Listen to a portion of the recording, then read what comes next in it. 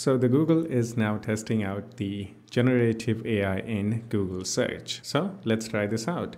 As of me making this video, it looks like it is only available in the US. If you don't live in US but you still want to try this out, I think you can just use a VPN. Now go to the google.com and when it's available, you'll see a new thing in here which says try AI powered overviews when you search. And there is one more thing added at the top which says search lab. If you click on it, it will give you different options and you have to actually turn them on. Right now there are only three options. Maybe in future we'll get more options like for different features, all right?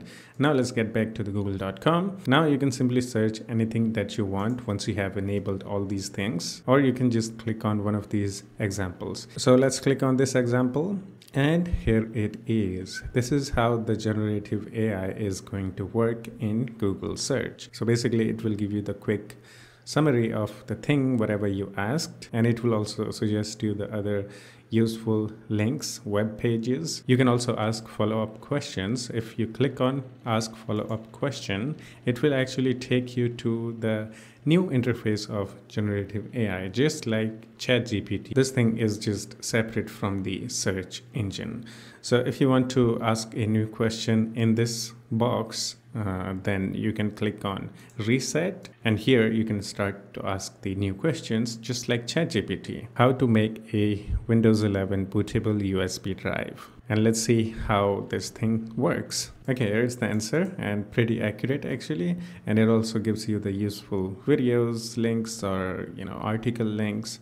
So that's that and it actually pulls out the entire you know google search engine too even though we are not inside the google search engine technically maybe we are but uh, yeah this is how this works let's ask a follow-up question any other alternative method of doing this and yeah it worked great so it gave me a alternative method to make a Windows 11 bootable USB drive. First, it showed a one of the most popular method, which is using a Rufus, and now it's suggesting us to use the media creation tool. Generate a HTML code for the website. It's a really basic, I mean, super basic template just to get you started. But uh, yeah, it also you know generates the codes for you if you're into that and I know people will figure out to get even more from this. Let's ask last question with some follow-up questions. What is the tallest mountain in the world? Yeah,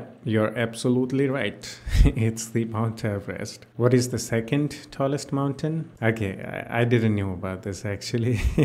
so yeah, that's it. Hope you enjoyed it. If you have any questions or have any suggestions for me, you can always do the comment and we can try to have some chit chat in the comment section too. Yeah, that's it. I'll see you in the next one. Take care of yourself and have fun. Bye bye.